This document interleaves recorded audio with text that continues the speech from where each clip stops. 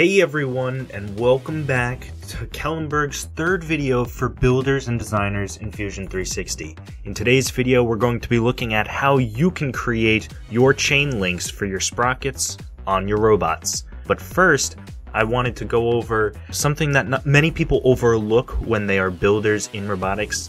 It is very important to write your ideas down before you even start, and I also wanted to show you a website that can inspire you to create your own robotics engineering notebook and start writing your ideas down.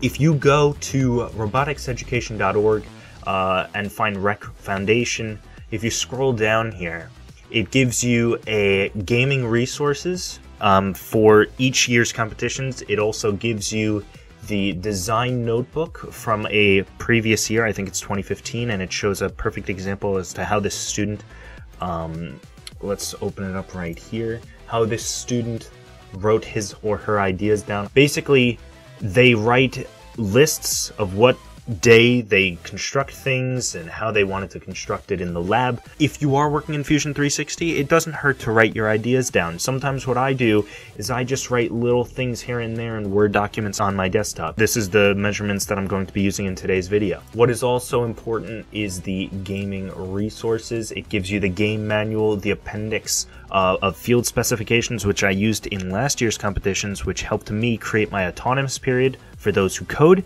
and it can also help you build a robot that will be comfortable in the setting. So you want to make this. Start by importing a C channel, and we're going to drag in some sprockets.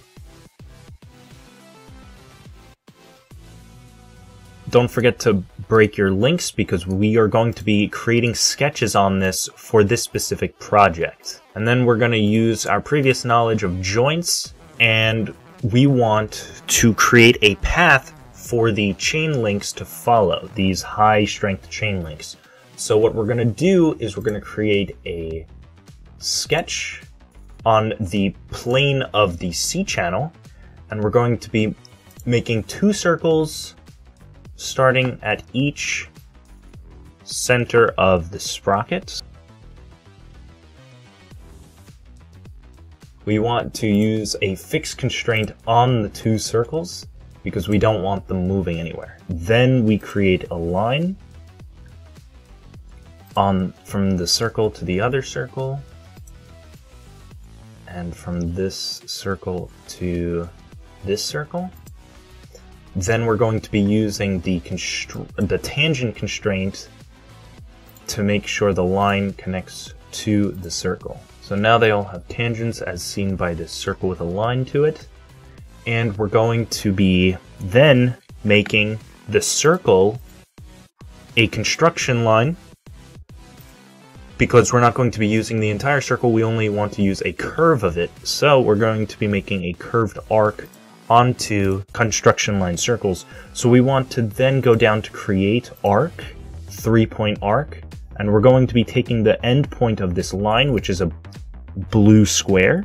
We're going to be connecting it to the other endpoint of the line, which is the blue square, and we're going to be lining it up. The blue X says that it's connected to that circle construction line. We're going to be doing it to the other side. You can finish the sketch, and now you have your path trajectory right there. In order to find the measurements, you use the inspect tool and click each one of these lines. It will give you the length. This one is 10.941 uh, and you want to specifically inspect only the curve, so that's going to be 2.30. So you add all of those up, and then you're going to subtract 3.86, and that's the length of the high strength chain link. When you get that number, I my total is 29.902, and after subtracting by 0.386, I get 29.516. It's not going to be completely exact by the decimal, but you'll see that it is very close and you can fidget around by sight. We're going to make sure it lines up in the correct way. So we're going to rotate this.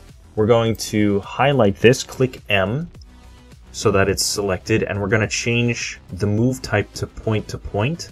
We're going to select the origin face as the cylinder center, and we're going to select the target point as the top of the sprocket, since that's the way it will be facing on the chain. Then what we're going to do is we're going to create a pattern on path, capture position. We're going to make the orientation path direction. We're going to select the path and we're going to make the distance 30.2 inches.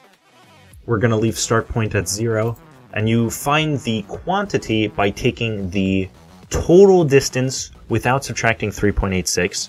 So in this case, it would be 30.5, and you're going to divide that by 0.386, and in my case, it's going to be 79. For the distance, you do want it to be the total subtracted by however long the one chain link is. The chain link happens to be 0.386. And as you can see here, it looks as if everything basically lines up. And then you click OK. And what it's going to do is create more parts of that same chain link. Then finally what you can do is creating a new component, changing it to chain links. Take all of your chain links, one down all the way to 79, shift clicking the first to the last, and you can drag it right into your chain links new component. So that is how you figure out how many chains you need to make this chain link so you can create different parts of your assembly in different projects and then combine them all together in your final Fusion 360 robot project. So that's all I have for you guys. Let me know what you think down in the comments below, and I'll see you all in the next video. Peace.